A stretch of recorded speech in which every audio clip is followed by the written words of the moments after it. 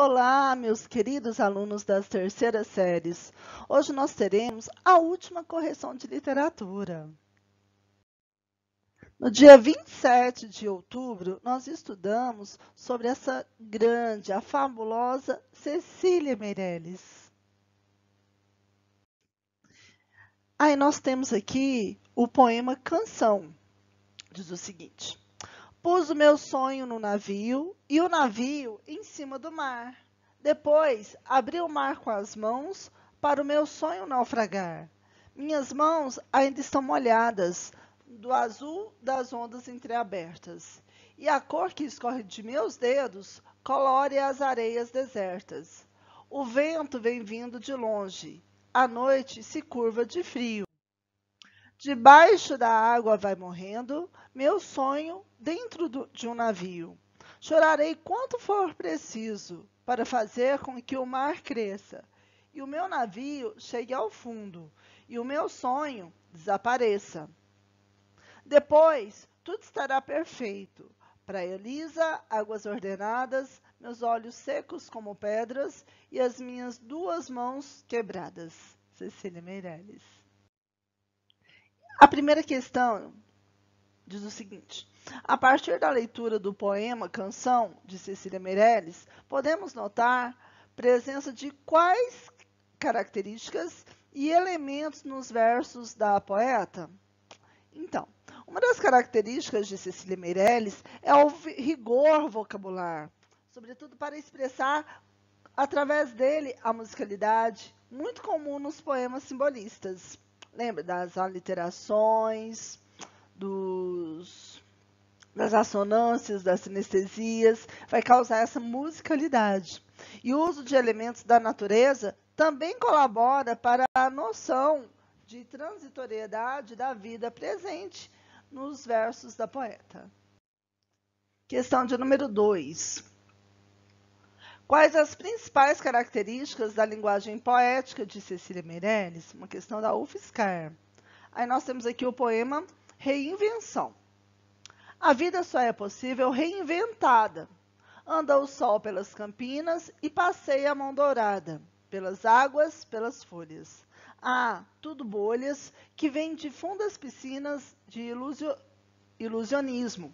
Mais nada, mas a vida, a vida, a vida. A vida só é possível reinventada. Cecília Meirelles. O estilo de Cecília Meirelles ele está associado à estética simbolista, sobretudo porque a poeta faz uso de elementos como a musicalidade, assim como a, uma postura que compreende a efemeridade da vida.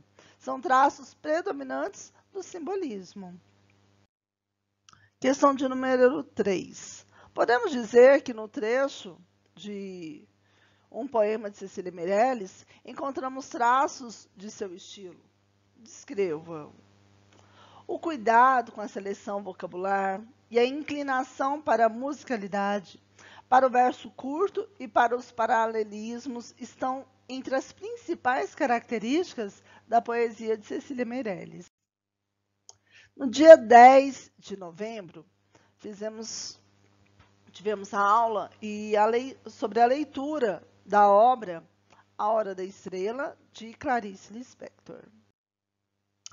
Então, sobre essa obra, a gente pode retratar que ela é narrada por Rodrigo S.M., que é o narrador personagem, um escritor à espera da morte.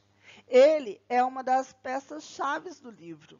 Ao longo da obra, ele reflete os seus sentimentos e os de Macabeia, a protagonista da obra. Nordestina, órfã de pai e mãe e criada por uma tia que a maltratava muito.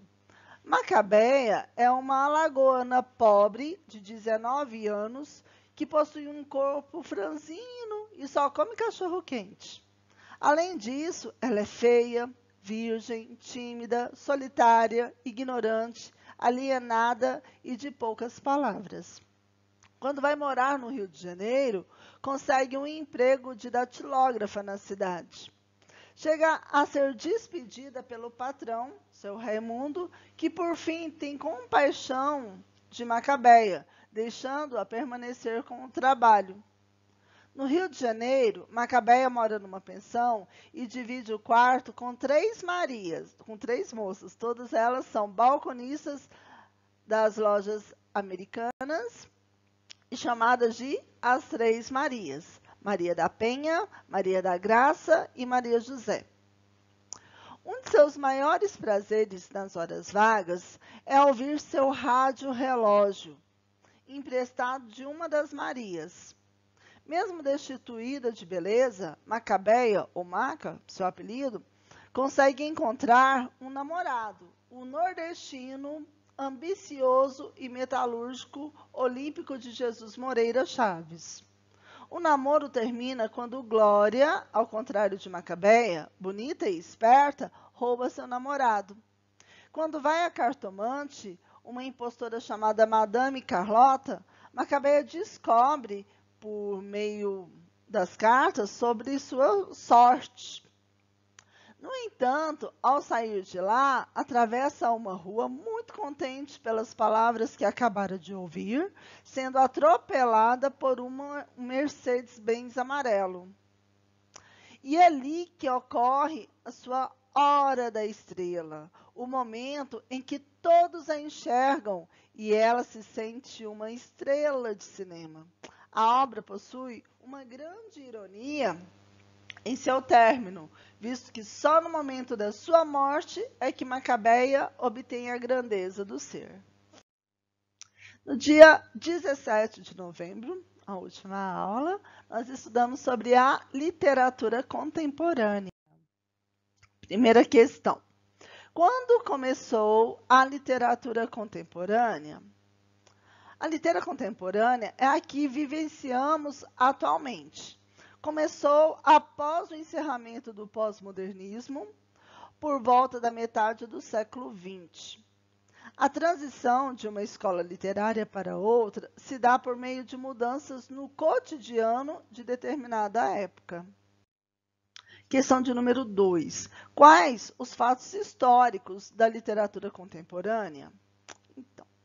O Brasil viveu o desenvolvimento tecnológico há poucas décadas, causando impactos tanto na indústria quanto política e na sociedade.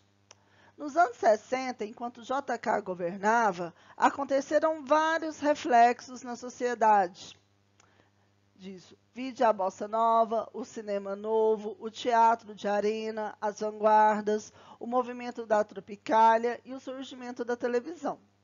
Porém, com a crise causada pela renúncia de Jânio Quadros e o golpe militar, que depois João Goulart no poder, o momento de felicidade do país deu origem ao de descontentamento provocado pela censura e sensação de medo constante, principalmente pelo fechamento do Congresso, pelos vários jornais sendo calados, pela perseguição pela tortura e pelo exílio de intelectuais, políticos e artistas.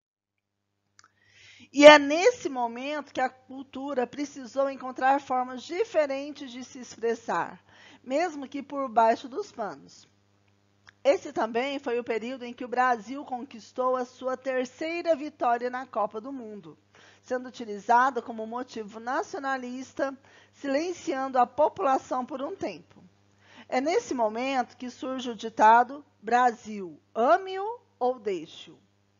E no final dos anos 70, o presidente Figueiredo sanciona a lei da anistia, permitindo a volta dos exilados para o território nacional. Isso desperta o sentimento de otimismo para aqueles que estavam descontentes com o regime militar da época. A ditadura militar, por sua vez, acaba em 1985 e o movimento Direta Já ganha força em 1989, tendo Fernando Collor de Mello como o novo presidente do Brasil, posteriormente deposto dois anos depois. Questão de número 3. Diminu é, quais são as principais características contemporâneas da literatura brasileira? Nós temos a diminuição das fronteiras entre a arte popular e a erudita, intertextualidade, vários estilos de narrativa, preocupação com o presente, temas cotidianos, metalinguagem, engajamento social, novas técnicas de escrita e arte e produção de contos e crônicas. E a última questão, de número 4, cite os principais autores da literatura contemporânea. Temos vários, mas vai destacar o grande Ariano Suassuna, Adélia Prado, Cacaso, Caio Fernando Abreu, Cora Coralina, Dalton Trevisan, Milor Fernandes, Paulo Leminski, Rubem Braga e Manuel de Barros.